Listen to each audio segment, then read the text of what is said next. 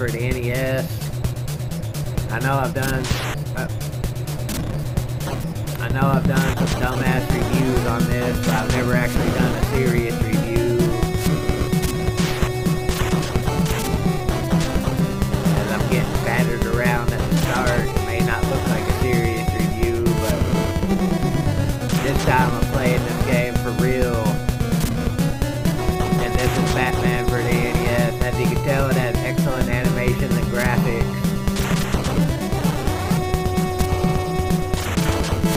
Is actually an incredibly difficult game.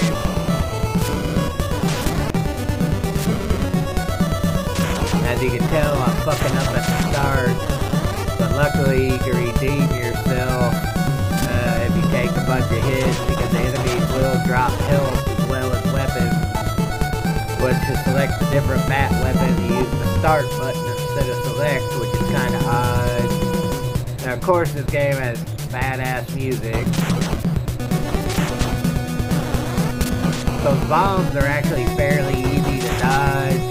If you just do a regular jump, you'll jump over them and not get hit by them. So when you see those bombs on the ground, don't fucking worry about them. And of course, the wall jump, everybody knows you gotta master its trickery. But it's really not that hard to master the wall jump if you know what you're doing.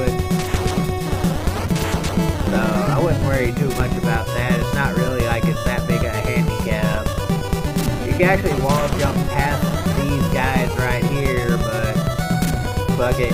Might as well collect the bat weapons and try to restore some health. The points, of course, don't mean anything unless you just care about a high score. So collecting the bees don't mean shit.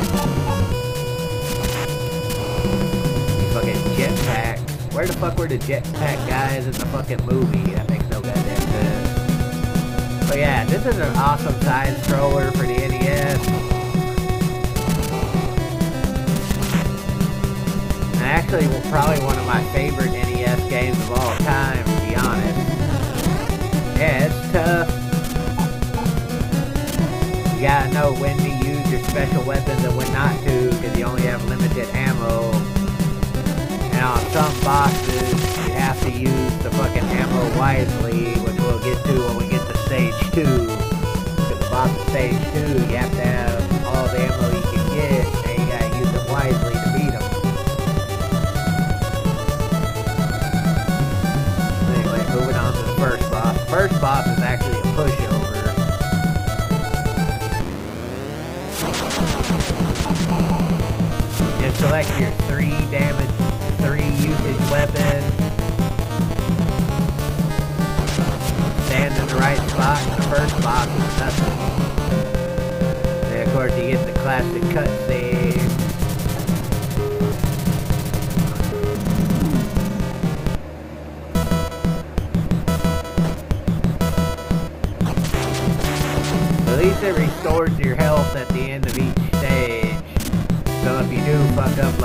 do it. It restores your health, so it's not too big of a deal as long as you beat the stage. Now the second stage improves the platforming quite a bit, because you gotta jump across a bunch of gaps, and watch out for that dripping liquid, because it will damage you and fuck your jumps up. Now this part may look dangerous, but just use the weapon 1 takes one and you can get through this part with little trouble. But yeah, if you want a challenging game, this game is actually really challenging. It's kind of like Ninja Gaiden with the actual difficulty. But uh, Ninja Gaiden is actually a harder game. I know I did a shitty review on Ninja Gaiden. I really did do a be it also. But I'm just going back to some of the games that I fucking did a review on that I wasn't. Yeah, don't do that. That I was kind of being stupid at, not really doing seriously. But that was back when this channel was originally created and I was just fucking with trolls. But I think it's time to revisit some of these games that I wasn't really trying on and actually try to do a good review on yeah, each stage in this game is different, and the hardest stage in this game is actually the fucking stage with the cavern. Well, besides the final stage, of course. But yeah, the hardest stage in this game is the fucking cavern stage with those fucking cranes and shit. We'll get to that, possibly.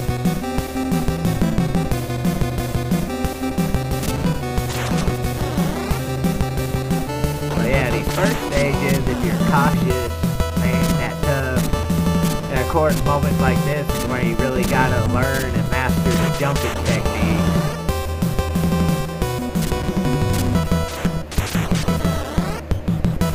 Sometimes you gotta do a short jump just to fucking get where you need to be.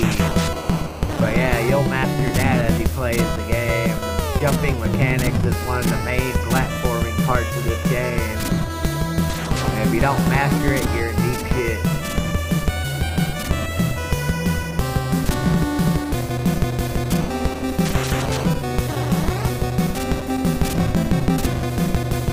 You gotta know when to go short and when to go left.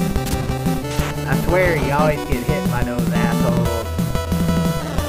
I only did that because I gained two health and I only took one hit, so we're getting close to where the boss is. Now those asshole bomb droppers right there, they could be a major pain in the ass, and they take a lot of hits to destroy. But sometimes you're better off destroying them. Just because it can save you some hits later. I know it burns up ammo, but before you get to this boss, you'll want to build up some ammo don't suggest fighting the second stage boss until you have maximum ammo.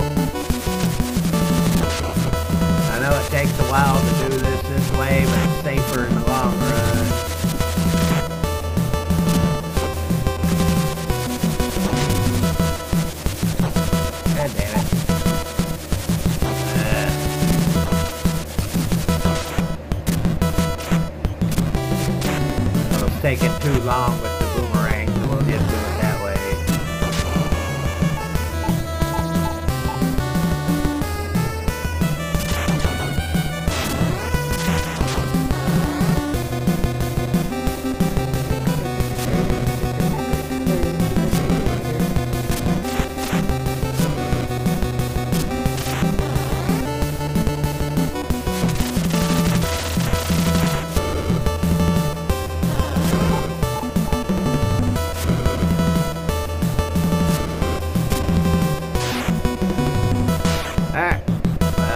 Up right there. You were supposed to go on that other path.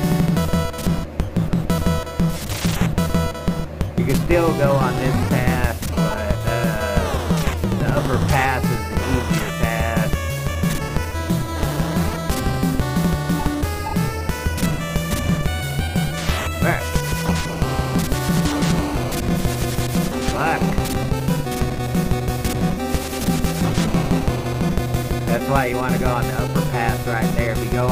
bottom path, there's a lot more shit.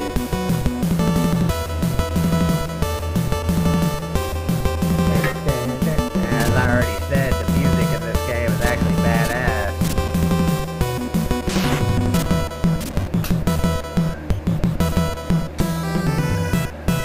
I was focusing too much on talking and not enough on the game. Now I gotta start all the way fucking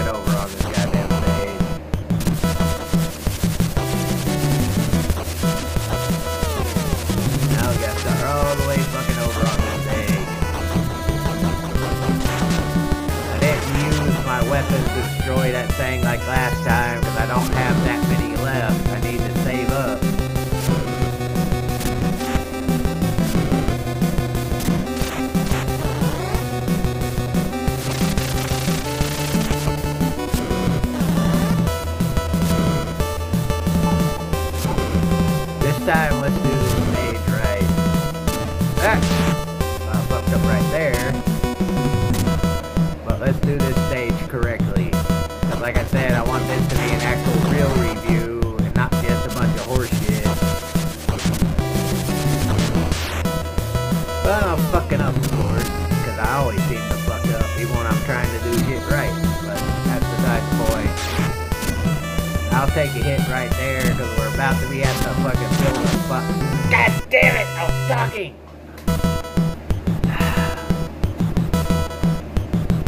fucking talking!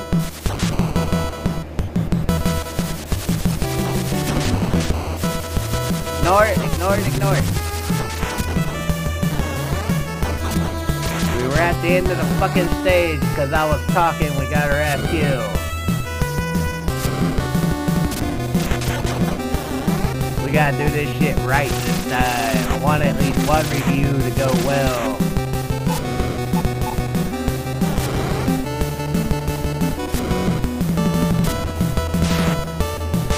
I'll take I'll take the fucking hits right there as long as we can actually get to the end of the stage without fucking up. There we go.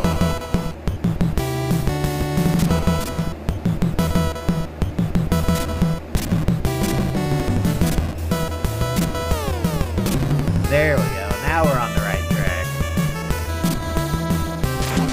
Now this part right here is where you want to this part right here is where you want to build up not only your weapons, but your health. Make sure when you get to this point on stage 2 to make sure you have maximum weapons and maximum health. Because beyond this point is a pain in the ass boss, where if you don't have that shit, you're gonna have a hell of a time fighting them. I know it may take a while, but definitely you want at least max weapons. Max health could possibly be optional on this boss, but I suggest doing both just because this boss could be a major fucking pain in the ass. And if you die on him, you don't get a chance to replenish your weapons.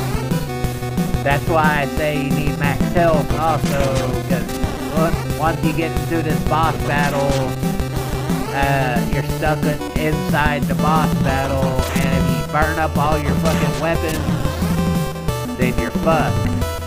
So make sure you have max health, even though getting max health can take a while because hearts are a rare drop sometimes. And even when you're doing it right, sometimes you can get hit randomly by an asshole. But if you want any chance at this boss, you want to make sure you're maxed out on health and weaponry. Otherwise, this boss could be one of the biggest pains in the ass you'll ever play.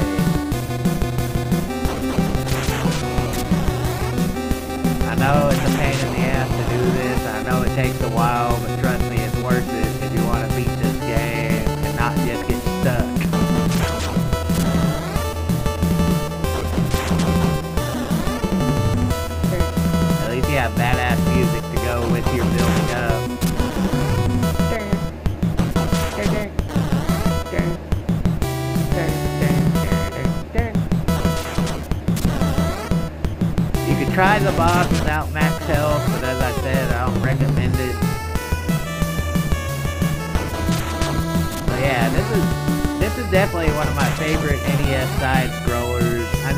tedious moments like this, but luckily, there aren't that many stages where you have to do this. There are only a couple stages where I suggest you wait till you have full power.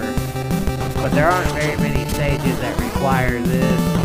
But stage 2 is definitely one of the stages that requires it. Mainly because of how bullshit the boss can be if you're not prepared. I mean, we could probably move on with 6 hits. But I want to make sure if you're trying to beat the game and try to be serious about it, you would want to make sure too. So I apologize for the boredom of this moment, but like I said, this time I'm trying to give this game a serious look at because normally all the other videos I made of this game is just kind of dicking around on. Like I never fucking mentioned why the hell is Batman wearing purple the old 60s Batman didn't fucking wear purple. Why the fuck is he wearing purple? Know, random shit like that.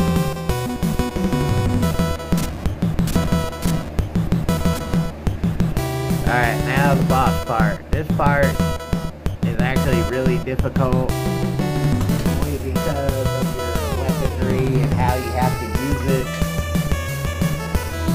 And you do have to pretty much burn up all your We're about to fight the asshole.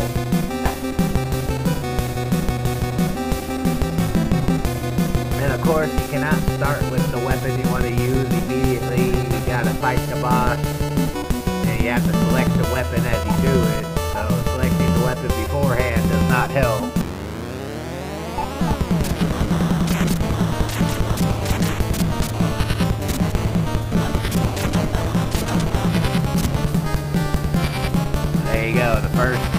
part is done.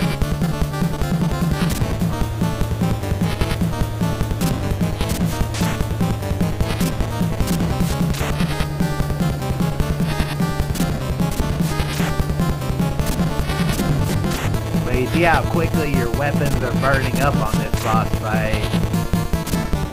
Since the max weaponry is only 99.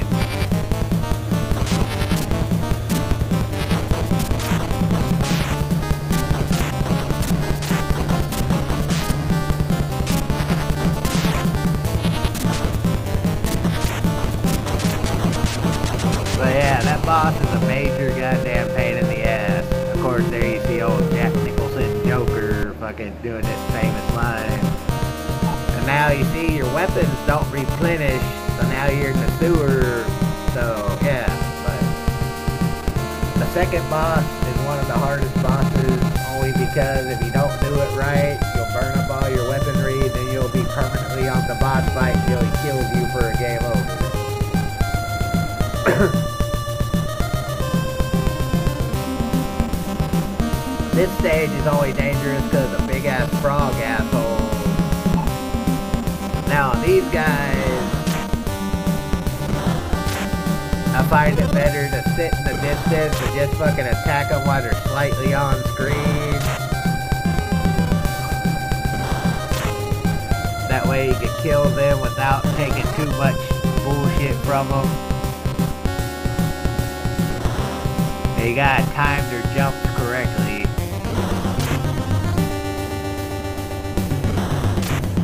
But it's kind of like the red devils and ghouls and ghosts. Where if you time it correctly, you can kill them with little bullshit. Otherwise, they're a pain in the ass because they hop all over the fucking place and kick your ass. So yeah, be careful on those assholes.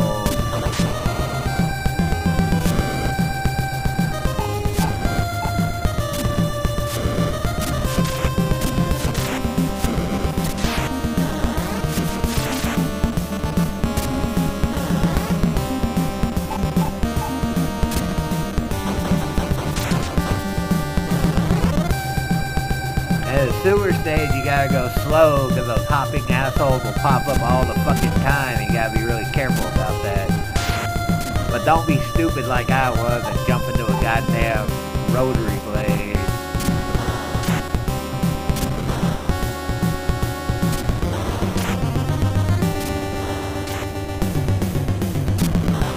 Yeah, see, you'll miss if you don't time it right.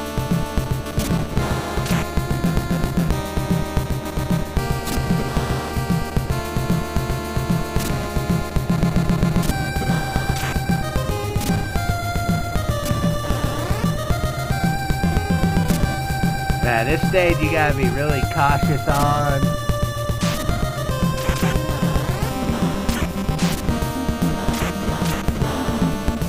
See what happens when you fucking don't kill those assholes off screen? Yeah, if you don't kill those assholes off screen, you just saw what happens. He hops over the fucking place and kicks your ass. And now I'm out of weapons and horribly damaged.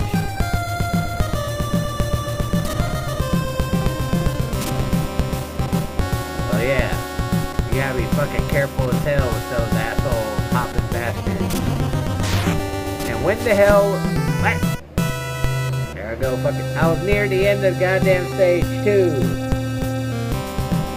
But anyway, where in the hell were those fucking hopping frog bastards in the fucking Batman movie? Where the hell did they even come from? But now you're gonna get to see me fight one of those assholes without a weapon because I'm fucking low on weaponry and can't kill one. So now you're gonna see what it would be like if you didn't do my strategy of shooting them off screen. Here we go.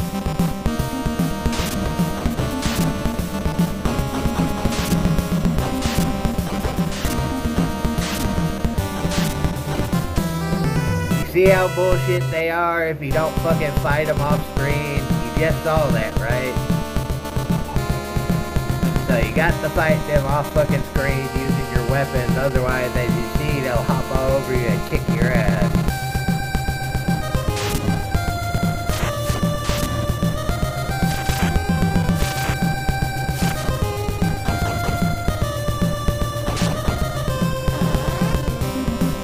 Yeah, as you can see, shooting them off screen, just like the Red Devils and fucking ghouls and ghosts. That's the best way to fight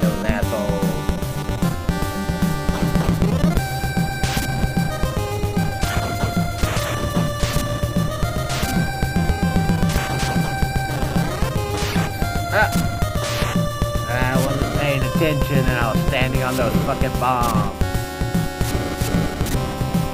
But yeah, we're gonna end this review here in a minute.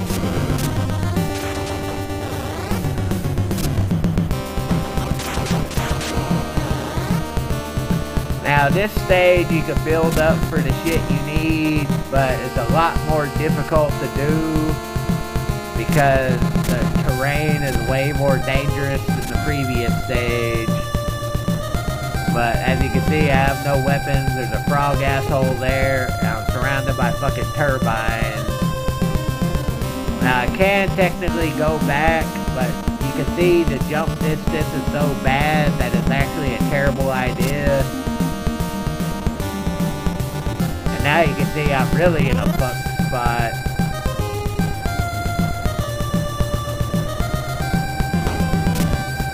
Now you can bypass that just saw, so even though you were in a bad spot, you can actually get past him without any kind of fight.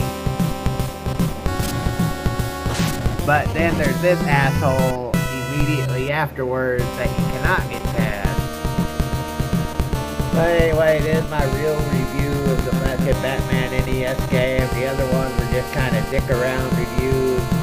I wish I would have made it farther during this review, but I burst up all my bat weapons, cannot get past these frog assholes as effectively as I was doing. But yeah, it's actually an excellent side scroller and definitely one of NES best games.